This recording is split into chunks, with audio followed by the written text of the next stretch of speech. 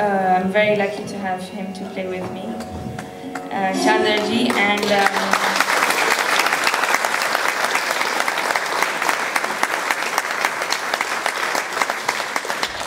and my father Hamid Khan on the tabla.